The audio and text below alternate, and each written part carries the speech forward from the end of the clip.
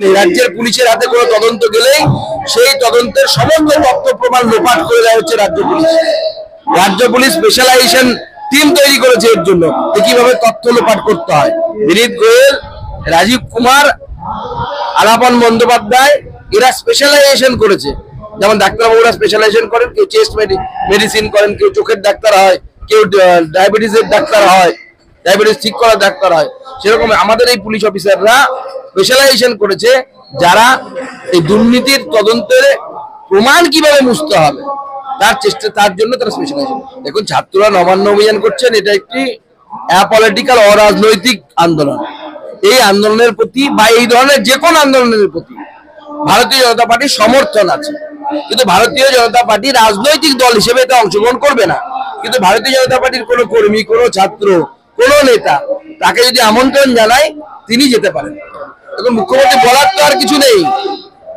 মুখ্যমন্ত্রী কিছুদিন আগে চিঠি লিখেছিলেন প্রধানমন্ত্রীকে যে ধর্ষণ বন্ধ করার জন্য এই আপনি ব্যবস্থা নিন। উনি ঠিক করেছেন চিঠি লিখে, শুধু ঠিকানাটা ভুল হয়ে গেছে।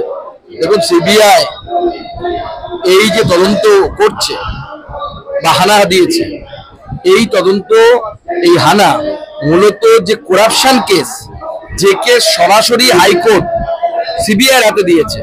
অর্থাৎ দুর্নীতি, সেই দুর্নীতির উপর তদন্ত করছে। আমি গত কয়েকদিন ধরে এটাই গলা ফাটাচ্ছি যে সিবিআই এর কেসগুলোকে পশ্চিমবঙ্গে আমরা দুভাগে ভাগ করতে পারি। এক, দল কেস আছে যারা, যে কেসগুলো পুলিশ আগে পেয়েছে তদন্ত করতে, পুলিশের কাছ থেকে তারপরে গেছে সিবিআই এর কাছে। আর কিছু তদন্ত আছে, আদালত সরাসরি সিবিআই কে দিয়েছে। দুটোর মধ্যে দেখুন আকাশ পাতাল পার্থক্য। আকাশ পাতাল তফাৎ আছে রেজাল্টে যে তদন্তগুলো পুলিশের কাছ থেকে সিবিআই এর কাছে গেছে তাতে সিবিআই এর ফলাফল ভালো নয়। কিন্তু যে তদন্তগুলো কোর্টের মাধ্যমে সরাসরি সিবিআই এর কাছে গেছে, তার তদন্তের স্পিড এবং তদন্তের ফলাফল ভালো। উদাহরণস্বরূপ নারদা। নারদা কাণ্ডে লাল ডায়েরির কথা আমরা সবাই বলেছি, কিন্তু সেই লাল ডায়েরি খুঁজে পাওয়া যায়নি।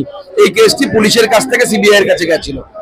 উল্টো থেকে দেখুন শিক্ষা দুর্নীতি, তারা সরাসরি সিবিআই পেয়েছিল। আমাদের প্রাক্তন শিক্ষামন্ত্রী জেলের ভেতরে, অনুব্রত মন্ডল জেলের ভেতরে।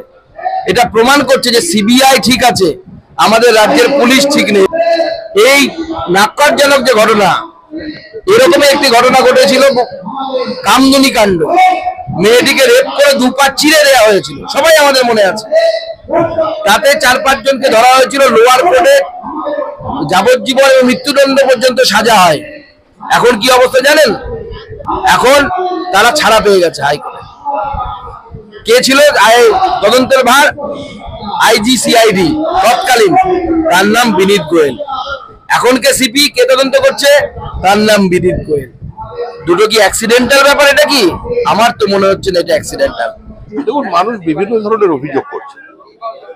সন্দীপ ঘোষের বিরুদ্ধে আমরা আমাদের দলের পক্ষ থেকে মানে আমাদের যে মেডিকেল সেল সেখানে ডক্টর মধুসন্ধ্যা কর এবং শারদত্ত মুখোপাধ্যায়। তারা একাধিকবার প্রেস কনফারেন্স করে আর্জি করে দুর্নীতি নিয়ে মানুষের সামনে বলেছেন। কিন্তু তখন সরকারের টনক টনেনি সরকার কোনো ব্যবস্থা নেয়নি। আজকে এই প্রতিবাদটা শুধুমাত্র ওই মেয়েটির ধর্ষণ এবং খুন কেন্দ্রিক নয় ধারাবাহিকভাবে বারো বছর ধরে তৃণমূল কংগ্রেস অত্যাচার চালিয়েছে তার বিরুদ্ধেই আজকে মানুষ ডাক দিয়েছেন আপনারা কি যাবেন? প্রত্যেকটি প্রতিবাদী মানুষ হিসাবে এটাই তো স্বাভাবিক। স্বতঃস্ফূর্ত হবে রাজনৈতিক বিভাজনের ঊর্ধ্বে উঠে। সর্বব্যাপী সর্বস্পর্শী। একটি আন্দোলনের সেখানে এই সরকারটাকে উপরে ফেলছে। এই সভাপতি বদলে দেওয়ার জন্য সবাই চেষ্টা করছে। সেখানে আমরাও করব। আমরা আছি। ঘটনাস্থলে যেদিন ধর্ষণ করা হয় যেদিন আহ, হত্যা করা হয় সেদিন অনেক তৃণমূলের ডক্টররা ওখানে গিয়েছিলেন এমন শোনা যাচ্ছে। বিগত চার দিন ধরে এ বিষয়ে যা বলবার তদন্ত চলছে তারা বিধায়করা মঞ্চে চলছে। স্টেটমেন্ট উঠে আসছে। তদন্তের সময় কোনো। তবে এটা কোনো বিচ্ছিন্ন মুহূর্তের শারীরিক উত্তেজনার বা মস্তিষ্ক বিকৃতির ফলাফল নয়।